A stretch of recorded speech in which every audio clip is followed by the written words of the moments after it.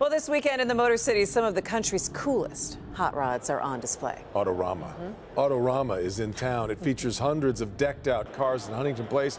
Jason Colthorp with a sneak peek to show us what's there.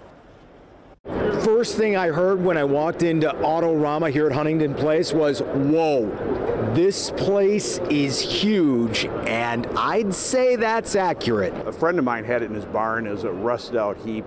So we rebuilt the whole thing. Mark Stewart rebuilt this 42 Ford pickup in honor of his dad, Phil. He and his crew are from Illinois, but the engine was built by Brothers Customs in Troy. Trucks are becoming really hot right now, so people really enjoy seeing the trucks, especially the old trucks like this. I look for the workmanship on the cars. Tom Hartson of Sterling Heights restores cars himself and says this show is the best of the best. Does this make you feel like you're eight years old on Christmas morning walking in here?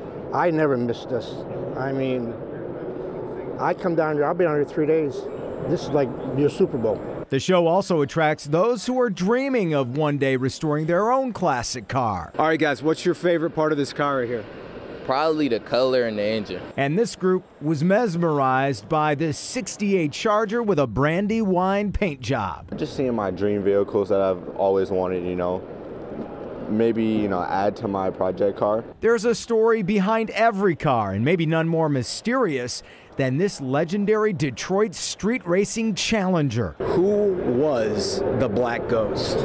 Well, the Black Ghost was actually the nickname for the for the car, or my dad, or you know, he used to race in his 1970 uh, Dodge Hemi Challenger at night on, on Woodward Telegraph. So when everybody found out that he's a Detroit police officer, they was just like, like wow. So all these other vehicles competing for top awards, but you can see, hey, George Jetson's old ride here at Autorama. How about the Batmobile? Really cool cars, even the Munsters coach here down on the end. So many cool and neat things to see at America's greatest hot rod show. Jason Colthorp, Local 4.